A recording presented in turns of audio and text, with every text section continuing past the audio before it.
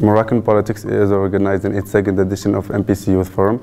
It's uh, an occasion for um, Moroccan youth to first learn and contribute efficiently to the new development model of Morocco. The forum has over 100 participants Morocco, from all over Morocco, from different backgrounds, from different cities, from different universities that will come for a three-day event in Al Akhawayn at Al Akhawayn University uh, to contribute to the, the, the, public debate of the new development model. We cannot talk about development without the inclusion of youth in the process.